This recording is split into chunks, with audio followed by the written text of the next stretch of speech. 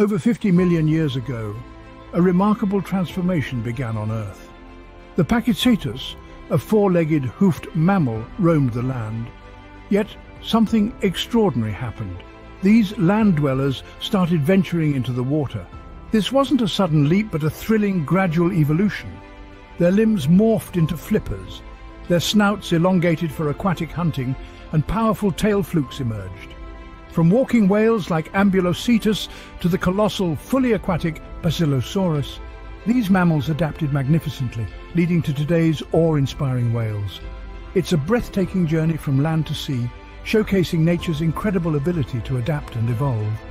To learn more, press the subscribe button and watch the full video on the main channel. And please give this video a thumbs up if you want to see more like it.